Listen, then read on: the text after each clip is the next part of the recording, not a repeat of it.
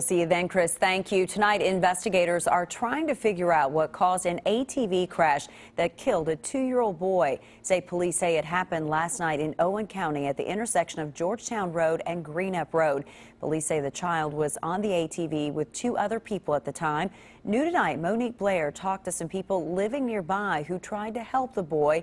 It's our top story at 11 kind of like clenched and closed my eyes. Brianna Renfro watched in horror as an ATV carrying two adults and a child overturned Sunday evening just near her front yard. It's like really emotional just seeing everything and um, really broke my heart for the mother. Neighbors who live right around here tell me they watched as the ATV was driving here on 845 and then turned left here onto 227. They tell me the roads out here were pretty wet because it had just rained and that the ATV was not moving very fast at all. Kentucky State Police say a 27-year-old man named Spencer Lawson was driving the ATV.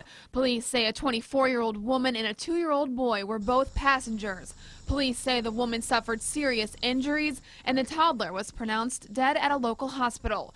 Renfro says many neighbors immediately tried to help. A lot of the neighbors who ran over to help, they were all, you know, crying and they're helping as much as possible, controlling the traffic and trying to keep everybody from seeing everything. Renfro says she noticed how slow the ATV was moving and she believes the roads were the main factor for the accident. The uh, slant that comes off of 845 onto this road, it's pretty significant. So when they went around there and the wet roads being uh, part of that, there was like really no hope.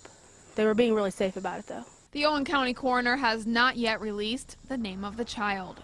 In Owen County, Monique Blair, WKYT. The state police say toxicology results are pending for the driver of the ATV.